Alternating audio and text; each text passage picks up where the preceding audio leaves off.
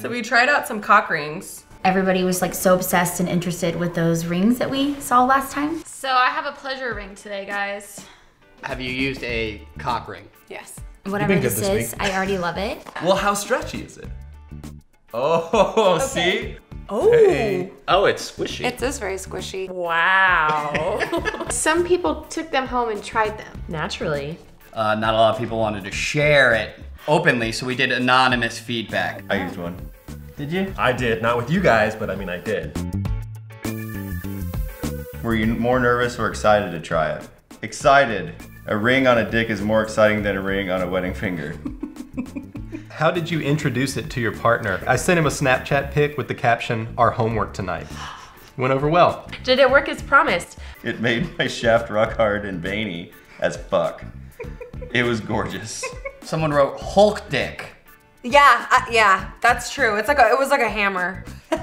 Once it reached critical mass, it began leading me around the room like a heat missile and knocked over a lamp in the process. 10 minutes into using this pleasure ring, and all I've done was destroy some furniture, 10 out of 10. Jesus. Do you think it's more beneficial for him or her? Well, based off the nail marks, I'd say her. Winky face emoji. That means she reached climax. I do get to do more sex. She gets to do more sex. Yeah, it's a mutual Pretty good, beneficial pretty thing. good. You All know, right. it takes two to tango, Well- and it takes two people to have sex, usually. Mine says, did you find any uses for it beyond the given instructions?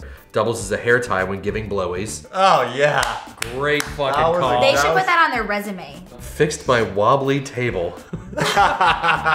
Would you recommend it? 100% yes. If you like it, then you should put a ring on it.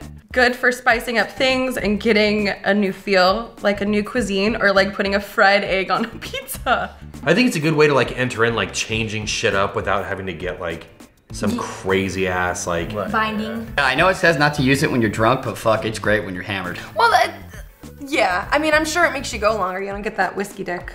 Will you continue to use it? Is the Poba Catholic? well said. I like it. makes me feel like I'm living life on the edge. Yeah, but Makes not. me but like feel like a man. Yeah. I'm gonna write a song about it.